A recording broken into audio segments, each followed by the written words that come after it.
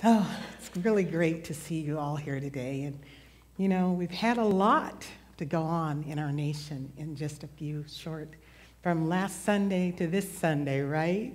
Some real pivotal things have happened. And, you know, I felt like I, I prayed from Tuesday all week long. Sometimes I'd wake up at 3 a.m. and I'd pray some more because I felt like this service was going to be so important. It wouldn't be a do right to act as if nothing had happened, to let to take the attitude of the elephant in the living room, right? So we have to own it. We have a new president elect, Donald Trump. And we have a, a, a lot of conflict and turmoil in that. And shouldn't be, but I think when we as humans think that we're in charge instead of God, we carry those things. But I'm here to tell you today, I hope what you'll take from this service today, don't have fear. Remember last week was don't let fear, love has no fear. Remember that? Remember, let your light shine? We did a sermon on that and we just sang it today, right? Let your light shine wherever you go. Imagine if all of those that are so scared and in so much conflict did that. Imagine if we understood that our president is Jesus Christ. And yes, we have a, a physical president here on this earth. And guess what, folks? We're in the plane together, right? So we want him to be successful. Our Bible tells us to pray for our nation. We want him to be successful. If he's not successful, neither are we. You know, I saw a really interesting uh, quote this week on Facebook. How many people get on Facebook? I probably get on it way more than I need to, but I do from time to time. And actually, that's how I steal pictures that my kids put up because they won't give me pictures. So I just grab them off Facebook and store them in my phone, and then I, well, I got pictures. So they don't know. I know all their business. Little do they know. if it's on Facebook, I got it. So once I figured that out, I started doing Facebook. Anyway, it was an interesting quote because what they said is if you're on a plane and the pilot is piloting the plane, you might want him to get to his final destination successfully, right? Because we're all on it together. And imagine if that plane crashed. So, and that was, that was kind of eye opening. I thought, you know, they were absolutely right. We're on this earth together. But the beauty of our togetherness is we don't have to carry fear. We don't have to judge each other. We don't have to judge anyone. That's God's business. They're being deceptive or not. We trust that their love of people will take over in their hearts. And whoever God has placed in that, in that position is going to look for God for the guidance of what are they going to do next. And we hope everything is done in love. Everything. That's what we pray for our president, whether it's the one that's gone out or the one that's come in we pray for them to be successful because it includes our success as well. But it also, not only that, gives us the opportunity to model love. You know, we say we love God. Remember what we read a couple of sermons ago?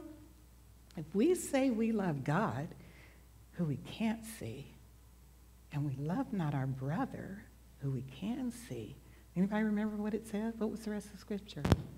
Remember? You're a liar, right? You're lying. You're lying. And this time, when we go through times where we may, as humans, not agree, or we may feel a little off centered, that's when we really get to trust God. That's when faith really comes out. Do you believe the God of the universe created you? I hope so. Do you believe that he sent his son to die for you? I hope so. Do you believe that Jesus Christ is alive? I hope so. And if you don't, ask your Lord to take the scales off your eyes because it's real. It's real. Don't take it from me. I'm mere human, just like you are. Take it from your scripture. Take it from your scripture. So the first thing, and I could go on and on, but I'm going to try to stay focused today. the first thing that you're looking at, this is a quote by Dr. Martin Luther King. Can I see a show of hands? How many people know who Dr. Martin Luther King is? Great, great. Pretty much all of us, right? Dr. Martin Luther King was a minister, a pastor, a rabbi, whatever people want to call him, but he was a man of God. And he gave his life fighting for peace and love for all mankind. That was his fight.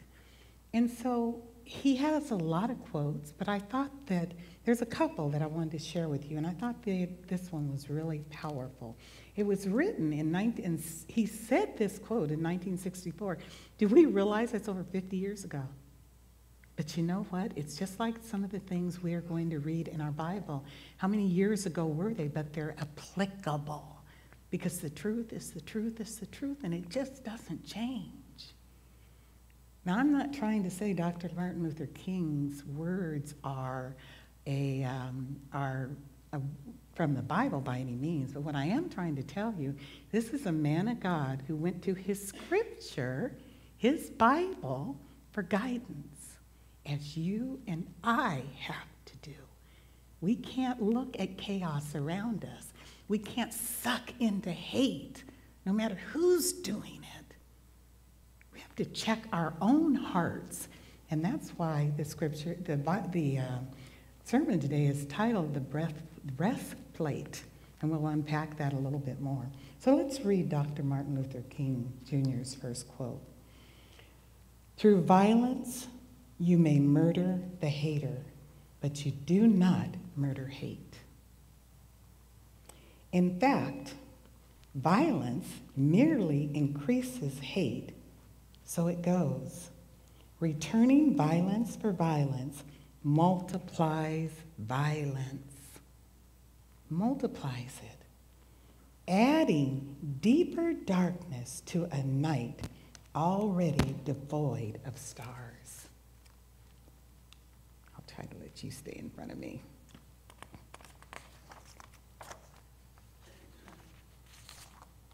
Let's go on. Darkness cannot drive out darkness.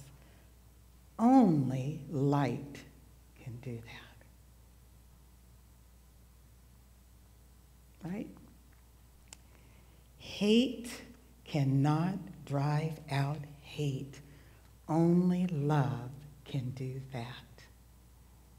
And who is love? God, right? God is love. Only God only the love of Christ can drive out hate, not more hate, not more violence. It just won't.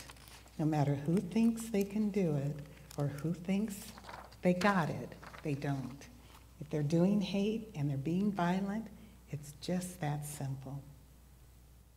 I'm sorry, I didn't keep you up with me, did I? I'll try to do a better job of that. Okay, so the title of this sermon is the breast, breastplate of faith and love. So I thought to myself, well, where are you going to start? Well, you kind of got to start with knowing what a breastplate is. Now, it depends on kind of how it's used, you know, right? English is interesting. There are lots of definitions for the same word. So there's, if you look back in the Old Testament, the breastplate was actually worn. It was an apparatus that was worn by the high priest. And it had all these jewels and things on it. And it kind of let people know that they were a priest. And it was a show of respect. But then there was also, let's come to a little later in the, in the centuries, breastplates were used by soldiers. Was a part of their armor. And what that armor did is it protected from their heart to their lower torso. And the intent of that breastplate was when these, these uh, arrows were coming at them at amazing speeds, it protected their heart from being pierced and them being murdered. So that's what the breastplate did. It's interesting. So I thought, well, let me. I, what I don't like to do is I don't like to mix up Bible verses because I'm not trying to create a story for you. But it was important that in creating a story, I didn't want to guide you all over the Bible. Goodness knows we can go a lot of different places. But I did want to make the breastplate come alive and the protection of the heart and what God says about the heart to come alive for you. So let's look at Proverbs 4, verses 32. And we're reading in the New Revised Standard Version of the Bible. In, in verse 23, keep your heart with all vigilance, for from it flows the springs of life. Our heart is the center of our lives. Intellectually, we all know that, right? Heart beats everything. It beats all the blood through the rest of our body. So without our heart, that's why the heart is such a powerful analogy. If you don't protect your heart, you pretty much lose your, your, your life. And so that's why the heart, and the heart is used in so many places in the Bible to tell us how important it is that we don't let evil into our hearts, that we don't let discord into our hearts, that we don't allow our hearts to take on hate. Very, very important. That we absorb love and compassion for in our hearts. That's what you want to carry in your heart. You don't want to carry those other things because the other things are destructive to the body, destructive to the heart. So put on the full armor, the breastplate. Protect your heart. Okay, so now that we know what the breastplate is, let's, let's go on.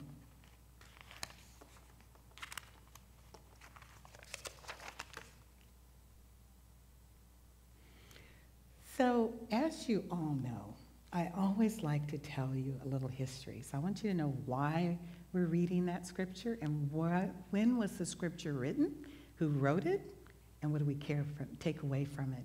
Now, Proverbs, Proverbs that I read to you was written by Solomon.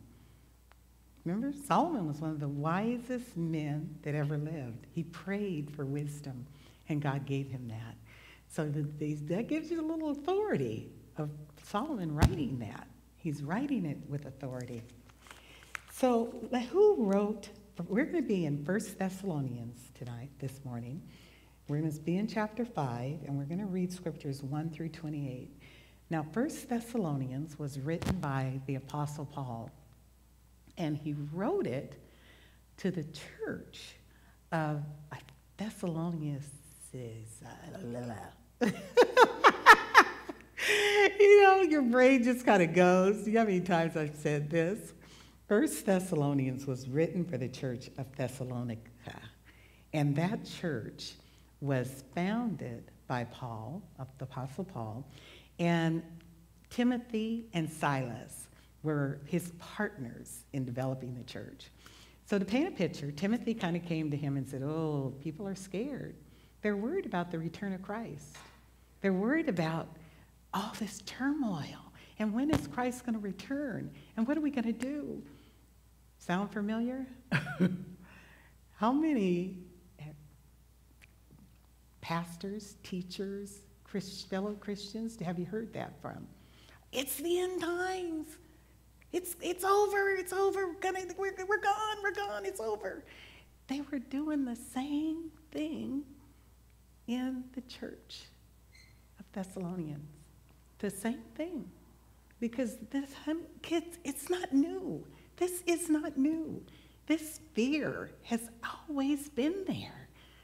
But the knowledge that you don't have to carry that fear, that's what I want you to carry away today. You don't have to carry that fear. So Paul's talking to them about that. So let's see what Paul says. Oh, I forgot to tell you. It was written in 52 to 54 AD, somewhere in that time frame. Remember, sometimes I, you know, try to stay up with me. Sometimes what happens is I know what I want to say so well that I kind of get ahead of the slide. So I'll try to stay on track because you're kind of reading along with me, and that's important. So, I already told you that what Paul wrote, that this, this letter to the, to the church, he wrote it trying to talk to them about the Lord, the coming of the Lord. So that's where, the, that's where chapter 5 starts out at. So let's go to verse 1 of chapter 5. Now, concerning the times and the seasons, brothers and sisters, yeah, I love the way Paul, brothers and sisters is his way of endurance, enduring. It's enduring. He's, in his letter, he wants them to say, brothers, sisters, listen, hear me, hear this. You do not need to have anything written to you. He said, You know, I'm writing you this, but you really don't have to have it written to you because you kind of know this, but you're forgetting it. For you, under, you un, yourselves know very well that the day of the Lord will come like a thief in the night. Ultimately, what he's trying to tell them is don't worry about the day of the Lord. But let's go on and see what else he says in that.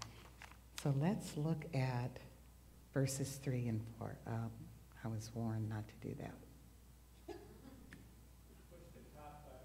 Oh, thank you.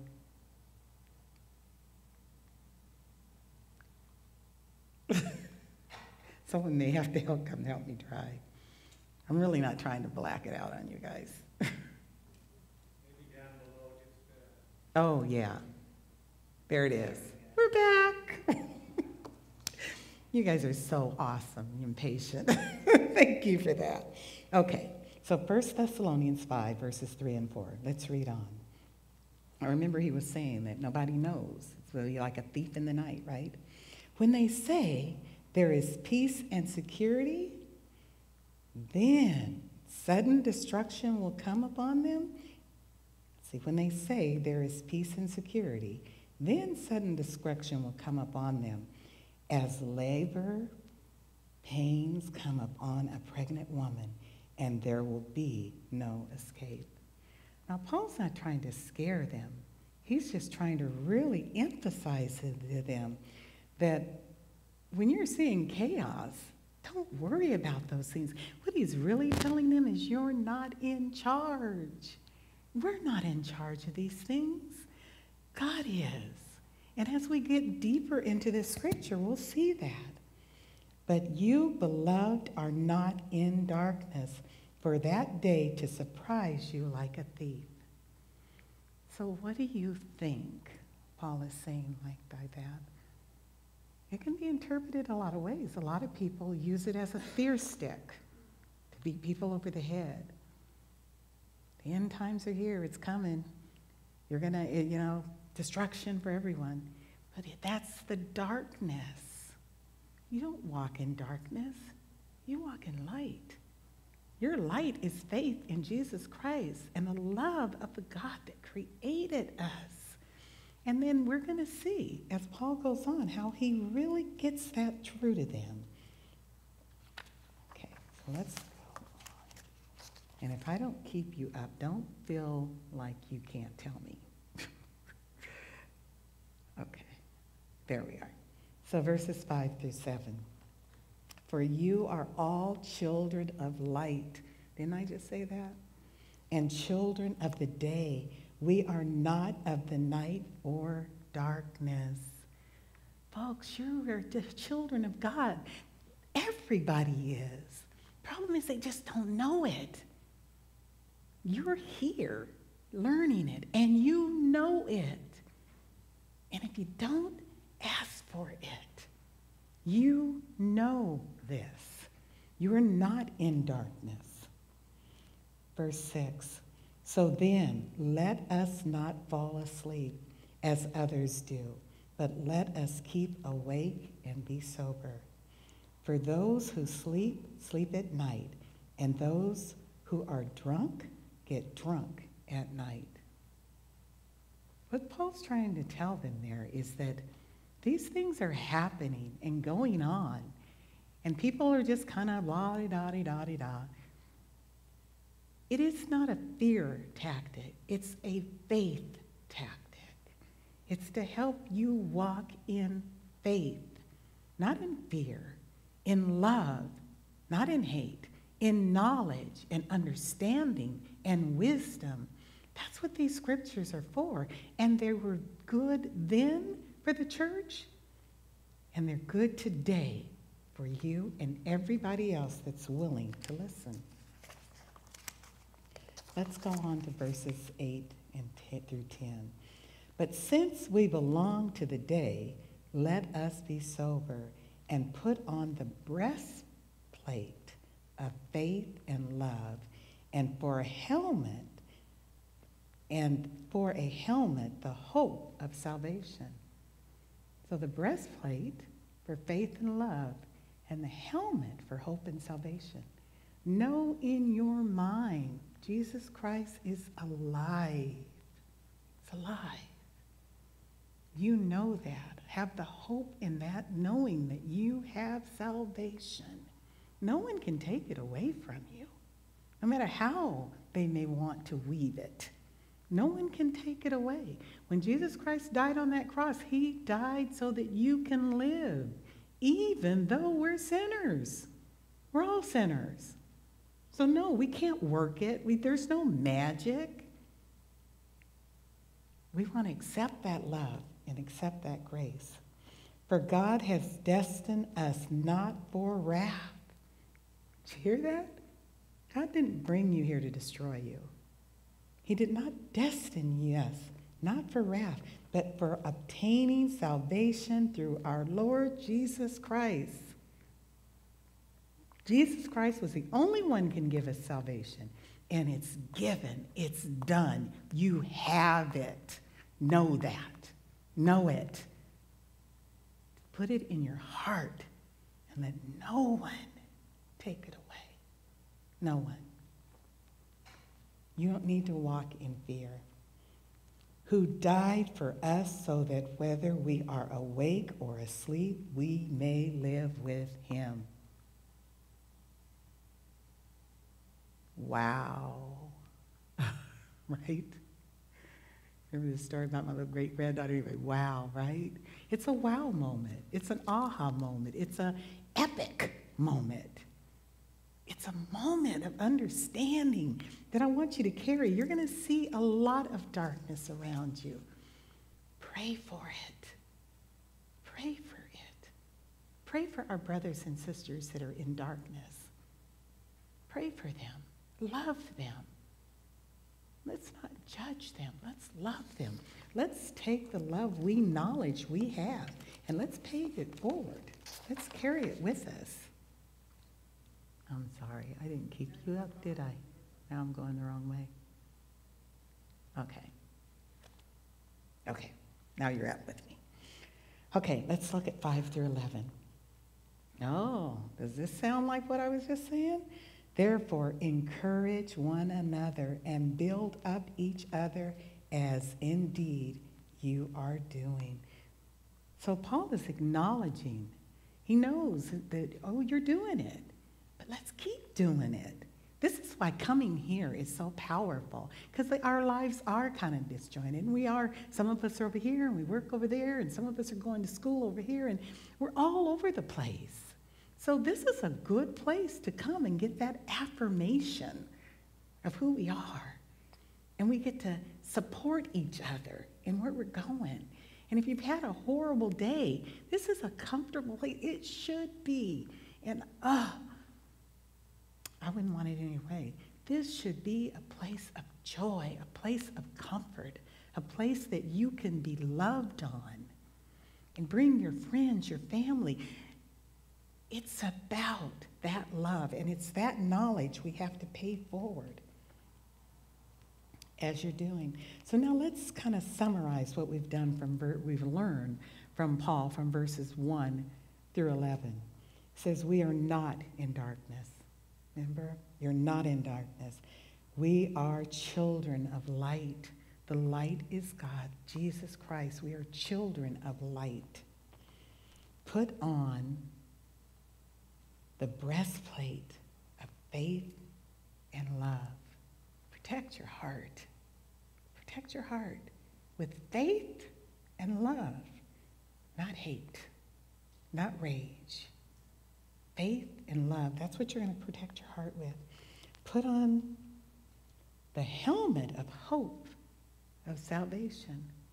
You have that hope. You have salvation. Jesus died and gave that to you. Keep it there. Keep it in your mind. Keep it in your heart. Because there's a lot out there that will try to get you to think about something else. Get distracted with all of the protesting and things that are going on, all the rhetoric we hear sometimes from our leaders. We'll get off centered with that. You know, so many times when I was studying theology in college, and I would read about all the different theolo- theologians, all the different denominations, I thought, oh my goodness, wow. How am I going to know this? And then I thought, hang on to what you know. You know what I knew? Jesus Christ is alive. I don't care how many different denominations there are out there. That's what they better be built on. Jesus Christ is love. That's what it's better be built on. If it's not built on those things, folks, then you might want to reconsider it because it has to be. God gives us salvation through Jesus Christ and encourage and build up each other. Very important. Now, I'll try to speed it up just a little bit.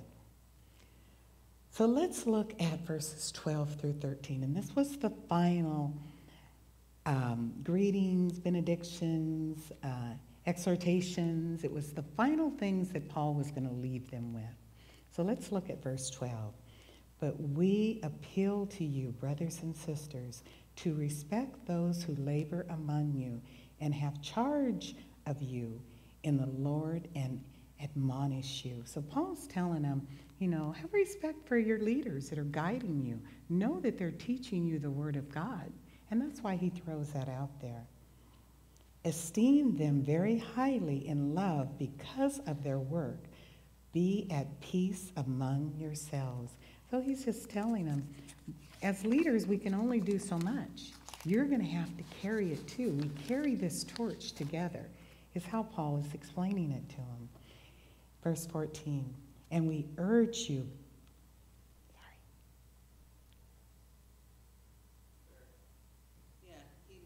Oh, thank you. I'll stop driving and let you take over. okay, verse 14 and 18. And we urge you, beloved, to admonish the elders, encourage the faint hearted, help the weak, be patient with all of them. We're going to have people among us that are just plain scared. Be, if you're feeling strong, if you're having courage that day, encourage them. Inspire them. If they're scared, let them know you don't have to be scared. God's in charge. You don't have to be scared. Your Father knows all. Nothing happens by accident. And we don't know the end of the story, but trust me, God does. And that's what's important. That's what I want you to carry. See that none of you Oh, really hang on this one. See that none of you repays evil for evil, but always seeks to do good to one another and to all. See, a lot of people think that that one another means just your fellow Christians in the church. It means everybody, folks. That's why that um, song that Janie and Michelle did was so powerful because it talked about let your light shine. Where? At your workplace, at your school, among one another. Let your light shine. So, so important. Rejoice always. Now, it's kind of hard to rejoice, especially for, for all of us, really, when we see so much going on. But there is a lot to rejoice for, and count your blessings. Give thanks in all circumstances for this is the will of God in Christ Jesus for you. God wants you to be happy. He wants you to experience joy, rejoicing, giving thanks, thankfulness. Trust me, my sisters and brothers, there's so much to be thankful for. And let's look at verses 19 through 23. Do not quench the Spirit.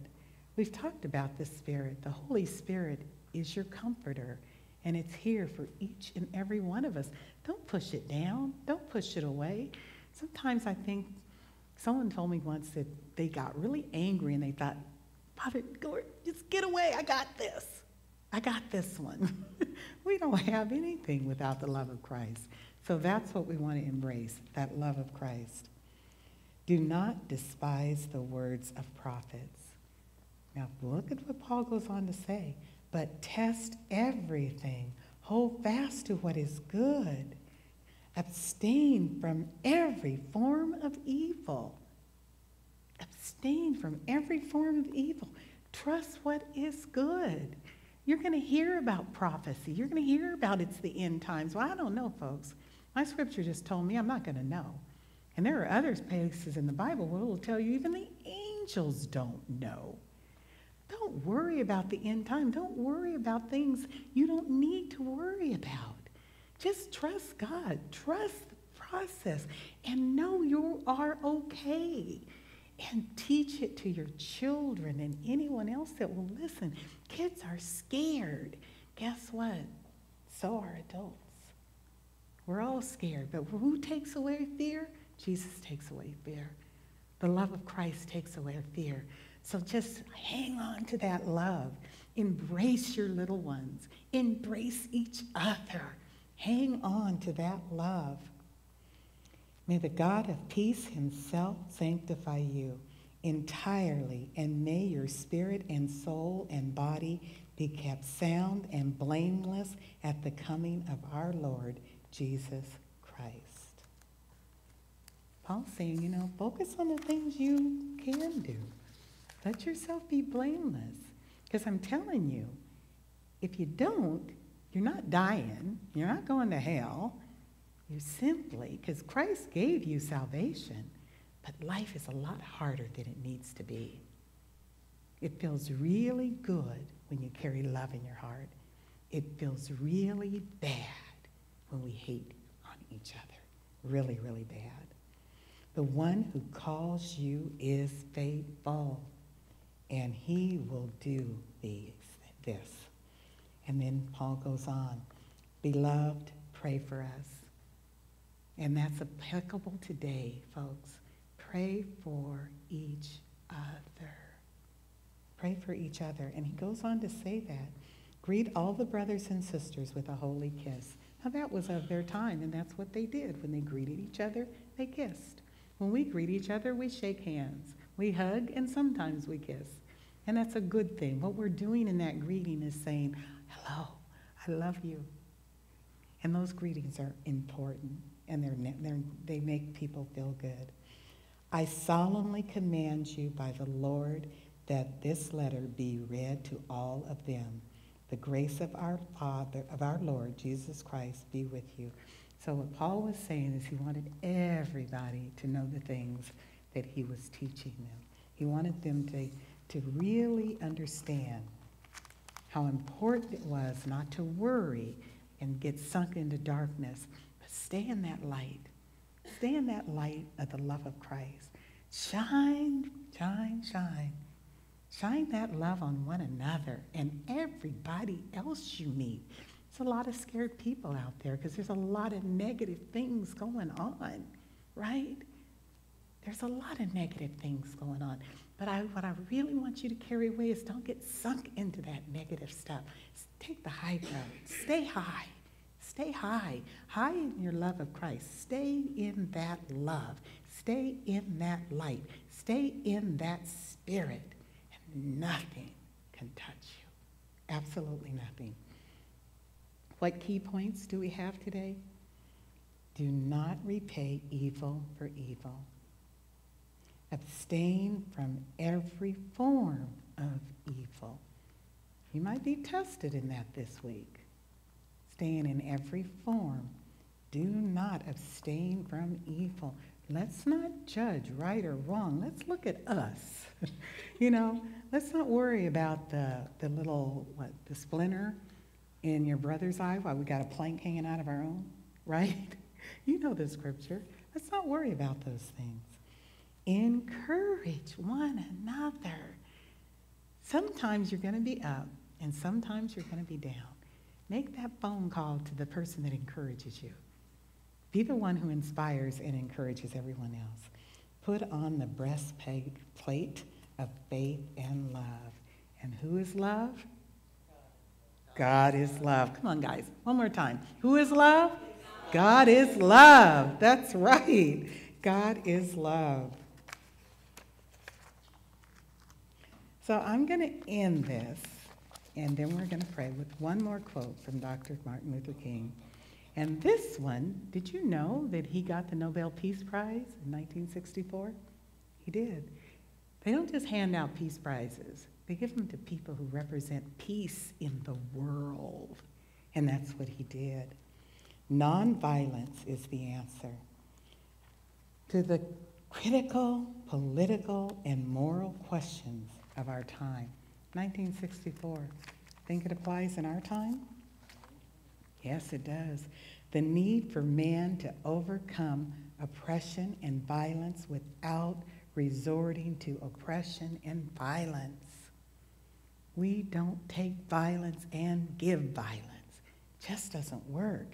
Man must evolve for all human conflict, a method which rejects revenge, aggression, and retaliation the foundation of such a method is love.